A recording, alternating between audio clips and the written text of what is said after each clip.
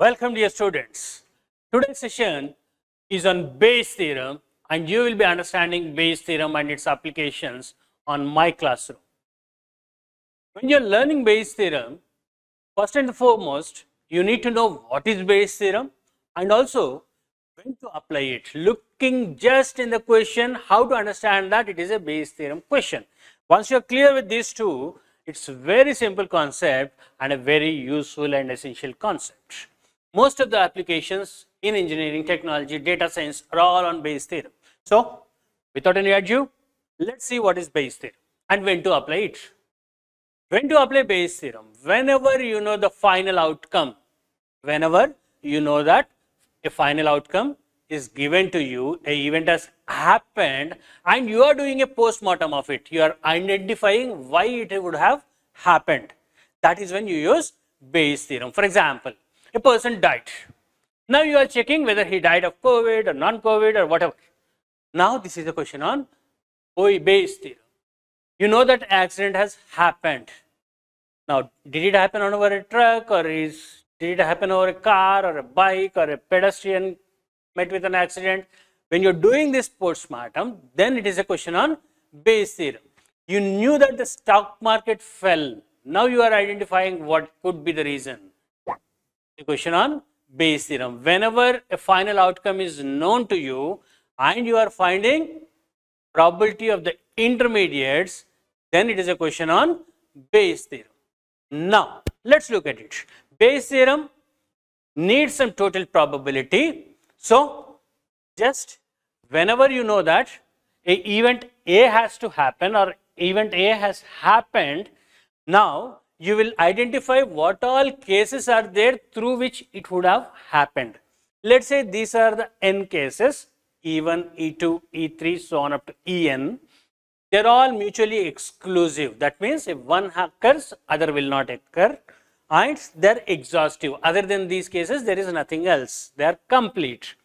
Let us take an example of a friend traveling from road number 1 to road number 2. One place to another place, point number 1 to point number 2. Now, he can travel from 1 to 2 either from road number 1 or from road number 2 or from road number 3 so on up to road number n. He has n options available with him. Other than these options, there is nothing else. There is no other roads connecting from 1 to 2. That means these are exhaustive. So, Bayes theorem, whenever you are applying, you have to have these events which are exhaustive. And also, no person can simultaneously travel on two different roads, right? So, these events are exclusive. If one happens, the other will not happen. Now, friend is traveling from 1 to 2, it could be from any one of the n roads. We don't know which route he is going route he is going to choose. Let's say he can choose road number 1 with probability P of E1, road number 2 with probability P of E2, road number 3 with probability P of E3, so on, road number n with probability P of En. Let's say you got a bad news call from him that he met with an accident and before he communicates something, call got disconnected and you are unable to connect to him. Now you have to make a guess whether it would have happened on E1 or E2 or E3 or En. Now this is a classic question on Bayes theorem. How to do that? First, find the probability of occurrence of accident. For occurrence of accident, he should have traveled either by E1 or by E2 or by E3 or by En. Now, what is the probability that he will travel by road number 1? P of E1. And.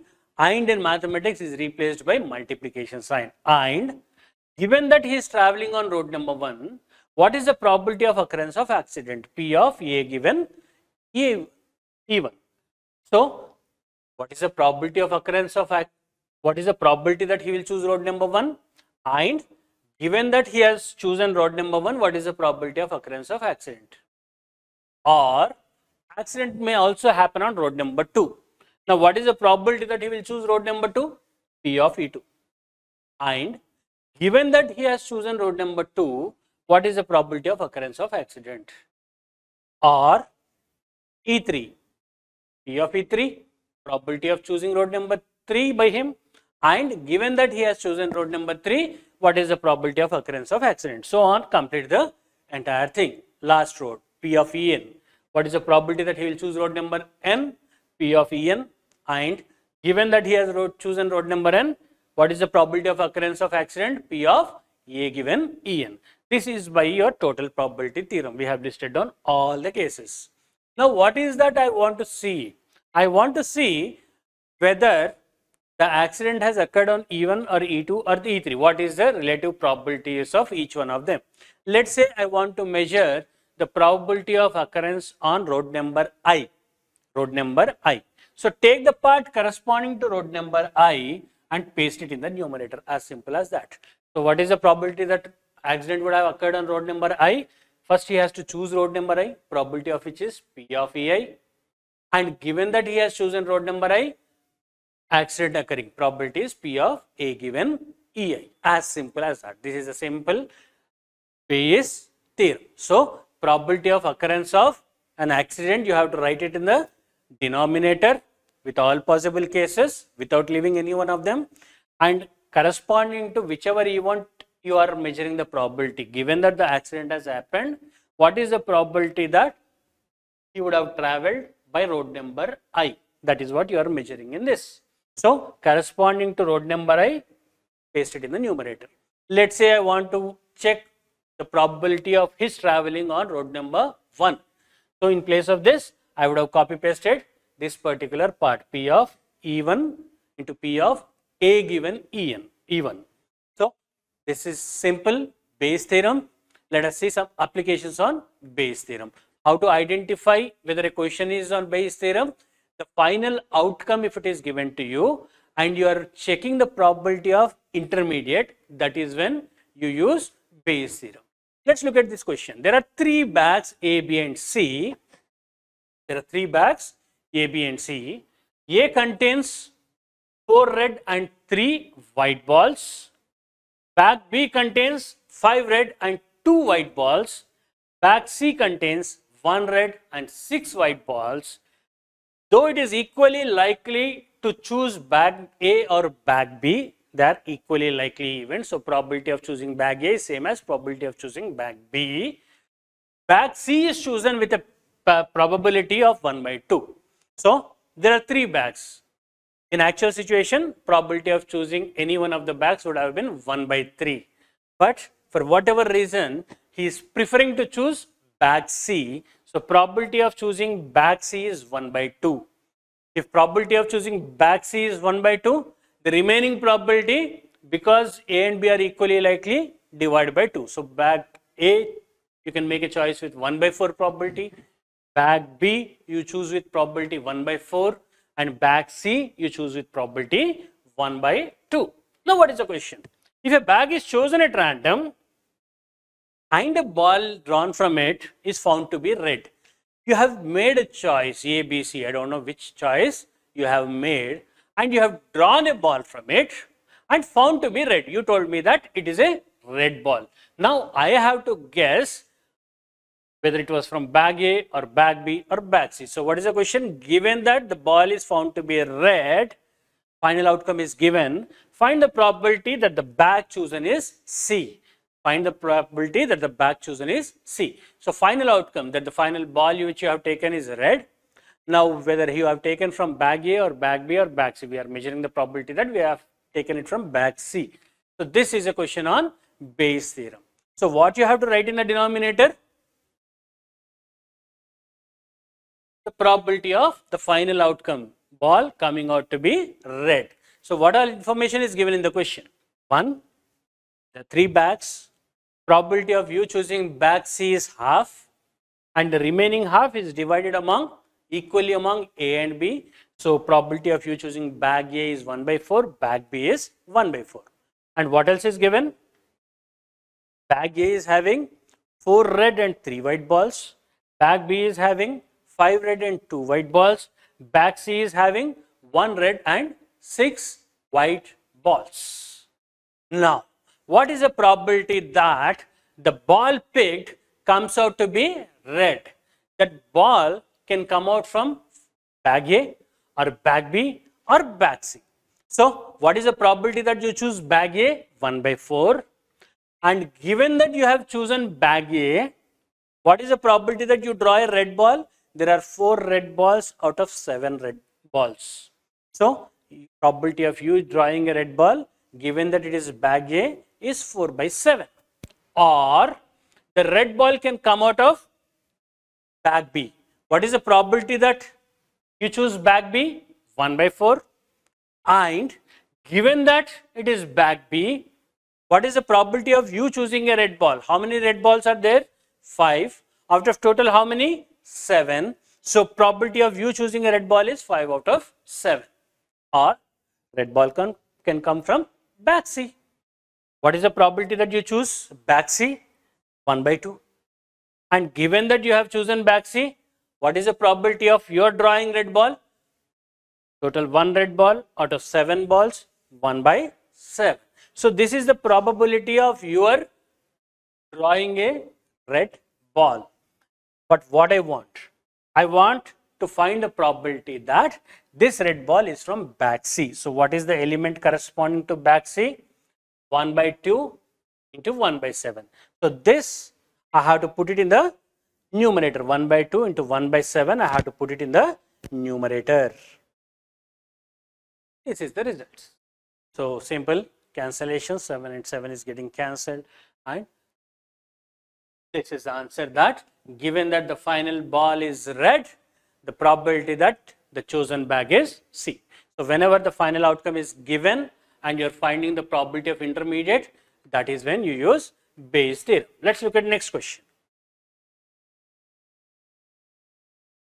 A card from a pack of 52 cards is lost. Pack of well shuffled cards will have 52 cards in it and one card is lost. You don't know what it is. From the remaining cards, remaining how many? 51 cards, two cards are selected at random and both of them are found to be hearts. So, from a pack of 52 cards, a card is lost, you are left with 51 cards, you don't know which card is lost. Now, from these 51 cards, I am taking two cards out and I found that both of them are hearts. So, final outcome that these two cards are hearts is already known to me. Now, I have to make a guess, find the probability of the missing card to be heart. Now, missing card to be heart, I have to check this probability. So, final outcome that both the cards I have drawn are hearts is known to me and I am finding the probability that the missing card is heart. So, what all cards are there? Hearts, spades, diamonds and clubs. There are four varieties of cards. Now, either the missing card could be heart. What is the probability that the missing card is heart? Normally it is 1 out of 4. All 4 are equally alike without knowing the final outcome. It is 1 by 4. And what are the non-heart cards? There are 3 spades, diamonds and clubs. And what is the probability that the missing card is not heart? It is 3 out of 4. So, when you are drawing two cards and finding them to be red, it can happen in any one of these two cases, either when the missing card is heart or when the missing card is non-heart. So, when the missing card is heart, how many more cards you are left with? There are total 51 cards now, of which 12 of them are hearts and 39 are non-hearts. It's non. When the missing card is non-heart, you will have 13 hearts and 38 non-hearts. So what is the probability that when you are drawing two cards, both of them are hearts? First, it can be the case when the missing card is heart. What is the probability that missing card is heart? 1 by 4. And given that the missing card is heart, what is the probability that both the cards which you have drawn are hearts? There are 12 hearts you are picking two of them. You can pick two hearts in 12C2 ways. But total you could have done that in 51 cards. You are drawing any two cards at random that can be done in 51C2. So given that the missing card is heart, probability of both the cards drawn are hearts is 12C2 by 51C2. Or the second case, what is it?